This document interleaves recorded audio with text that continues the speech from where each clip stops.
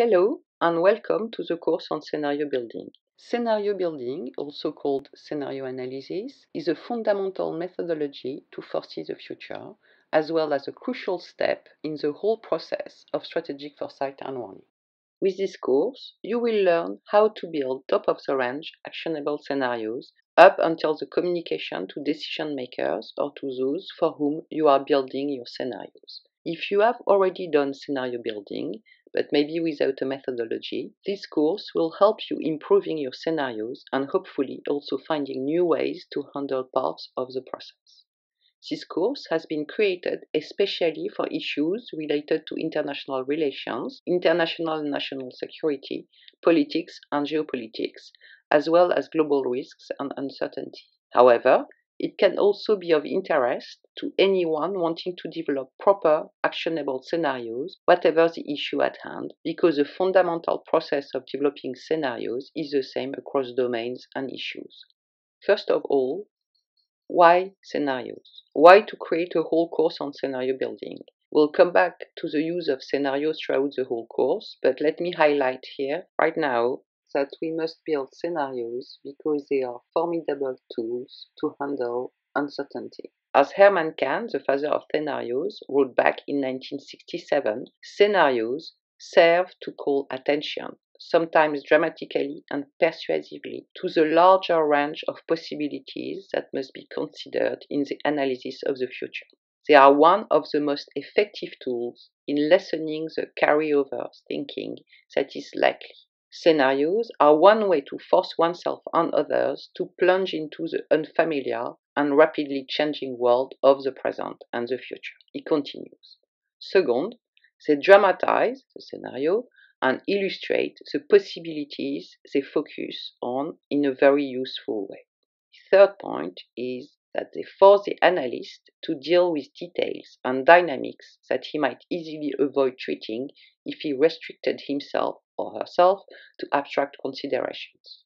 His fourth point is that they help to illuminate the interaction of psychological, social, economic, cultural, political, and military factors, including the influence of individual political personalities upon what otherwise might be abstract considerations, and they do so in a form that permits the comprehension of many such interacting elements at once. And he goes on with three more factors before also to consider criticism. So would it be only for these reasons that Herman Kahn underlined, scenario building is truly a crucial tool for those who want to seriously plan ahead in a world full of uncertainty. Scenario will allow avoiding surprise while also giving us a chance to turn threat and dangers into opportunities. But if we want to be able to use scenarios, we must first learn to build them. In this introductory unit, what we shall uh, focus upon is first a global overview of the course so that you know where we are headed. I'll also explain the structure of the course and highlight a couple of practical details. Second, we shall locate scenario building within the overall strategic foresight and warning or anticipation process. And I'll remind you briefly of what we saw in the previous course or where we stand at the beginning of the process for scenario building as taught here if you are using a methodology other than what we suggested in the first course. Finally, I shall conclude with a few thoughts on the future of scenario building. So, first, let me present the course. So the course uh, can be summarized like that. It is our second program in our training series on strategic foresight and warning and crisis anticipation. Our answer right now to the question I'm sure you already have in mind can I take this course without doing first course 1 analytical modeling? In other words, is course 1 compulsory to be able to take course 2 on scenario building? The answer is that ideally you should indeed take course 1 first, or at least you should have the knowledge and understanding of what was addressed or what is addressed in course 1. Indeed, the strategic foresight process builds progressively upon various stages, and each stage must be constructed with care to make sure the next stage is correct. And at the end to make sure that we have a final result that is excellent. Thus, what matters is that you know the risk management or strategic foresight and warning process up to the moment when you have all your variables or factors for your issue with, if possible, linkages among them.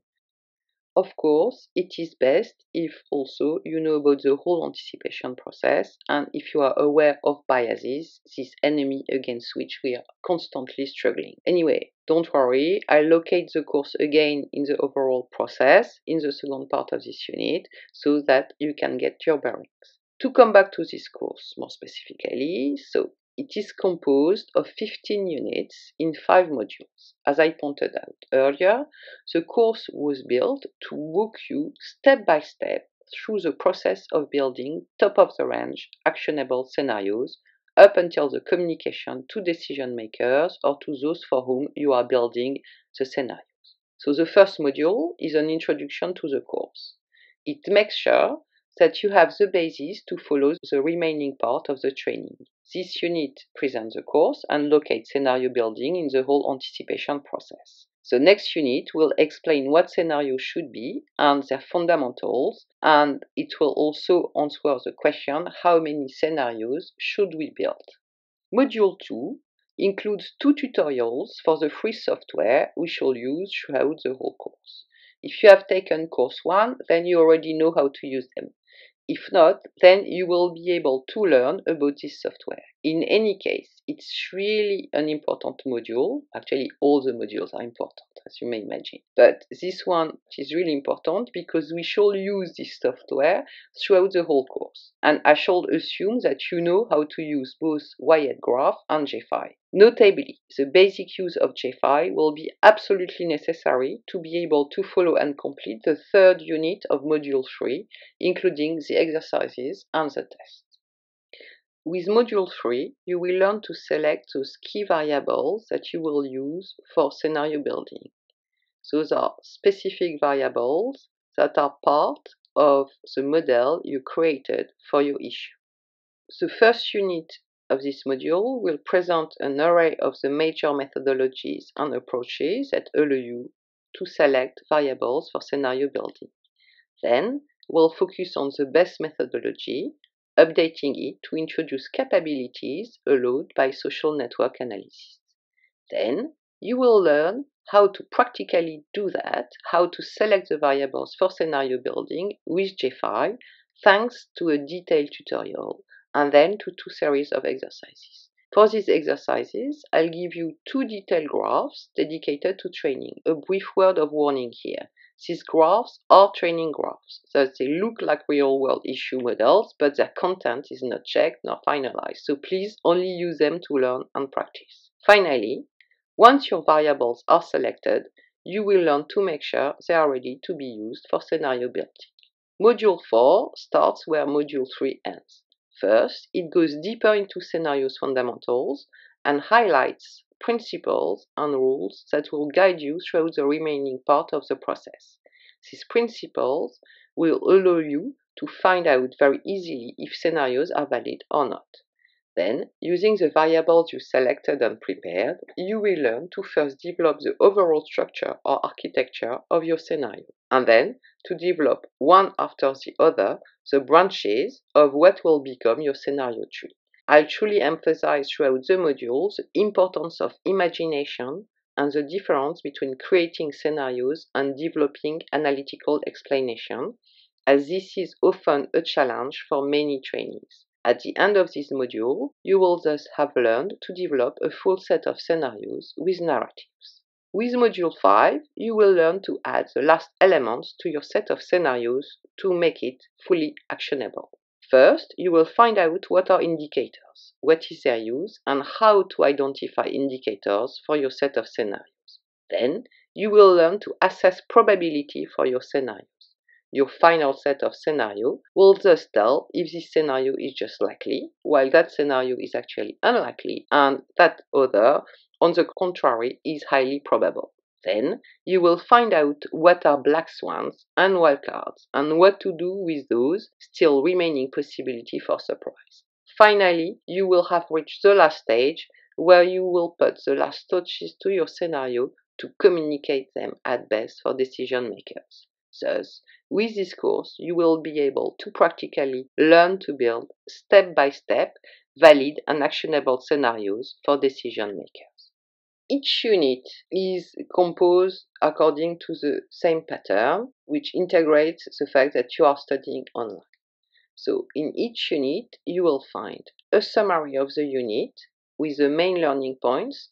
Then you will find practical recommendation regarding the way to proceed for this specific unit.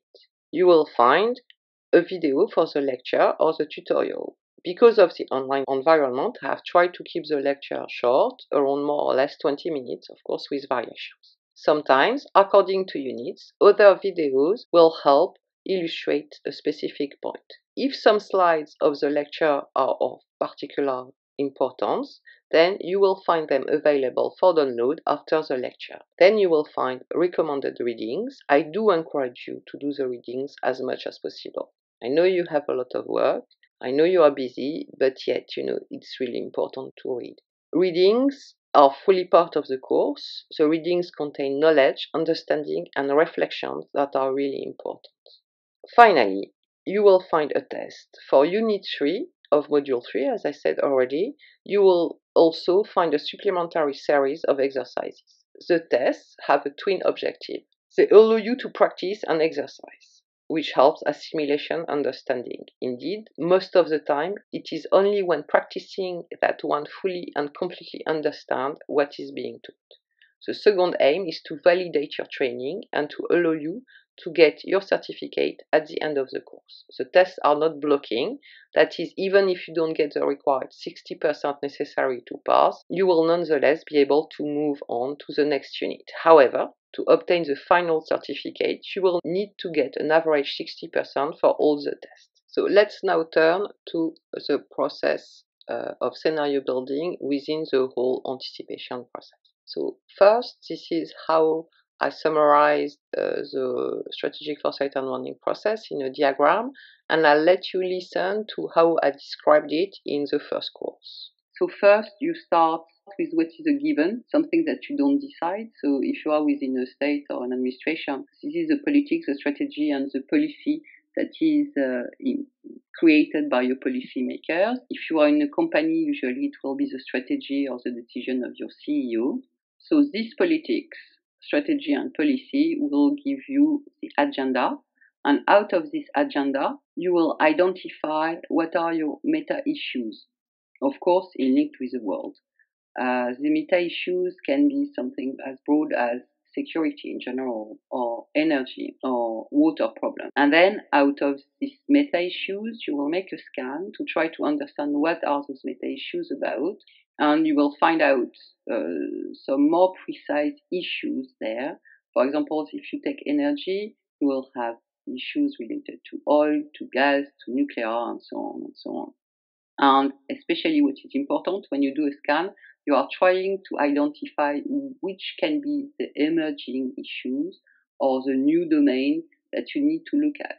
So to pursue with, to continue with our example on energy, we would have, for example, asteroid mining in space that can be seen as an emerging issue or deep sea resource mining where we could find energy too. And those would be uh, new issues that need to be looked at in detail during the analysis. So once you have the issue and the emerging issues, there you will start doing for each of them, usually, an analysis following precise methodology or as good as possible methodology. Once you have done your analysis, you will get two things, two products, scenarios on the one hand, indicators for warning on the other, or in most cases. Scenarios will be delivered directly to the clients. For indicators for warning, you will have more steps to follow. You will monitor reality and find indications according to the indicators you are monitoring. This will give you warning problems. So this is even more specific issues. So we go from the larger in the meta issues to the uh, more defined issues to the very defined and specific problems. And then once you have identified those warning problems, you may do a whole circle of analysis, scenario, if you wish, indicators that you then survey. And once you have uh, surveyed and you find out that a warning needs to be delivered, then you deliver it to clients. So as you see on uh, this drawing, actually the move or purple arrows and the green box are what we shall focus upon in this course. So as you see, we move from the modeling part that was presented in course one that allows us to find both the indicators for warning and uh, the building blocks for scenarios to the process of building the scenarios. Okay, so I won't come back to this slide in detail, but I wanted to present it to you uh, nonetheless. So is strategic foresight and warning the same as risk management? Fundamentally, yes, both are now very, very similar. As a result, scenario building also belongs to risk management.